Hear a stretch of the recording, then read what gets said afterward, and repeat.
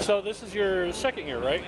Third year. Third year. Yeah. that's- So you you feeling more like a veteran and you know where things are and Well, yeah, it feels different because after every year, you know, it kind of you know where to go every time, and uh, it feels a little calmer. You know, the first year you get to the speedway, everything's so crazy. You have so much media, so so much practice. Qualifying is definitely different than anything you've ever done before. So uh, the more years pass, the more calmer you are about it, and uh, it's really nice. So are you getting maybe more media attention now that Danica's gone? That this isn't the Danica and the girls party anymore. This is No, it doesn't have anything to do uh, like that. You know, I think um, I think when Danica was here, you know, I think the, the tension was still the same, and it's still now. So um, it doesn't really change anything. You know, I think we're all out here to, to do our job and to drive the race car really fast. okay.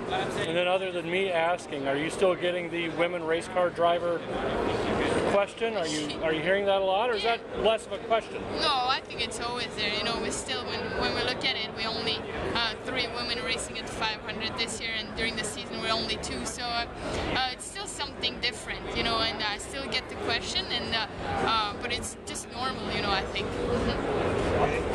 And uh, how how about the new car? Do you like the new car? I really like the yeah DW12 chassis. I think uh, uh, on the road course especially, fun to drive, and even on the oval, you know, there's still so many things we can learn from it.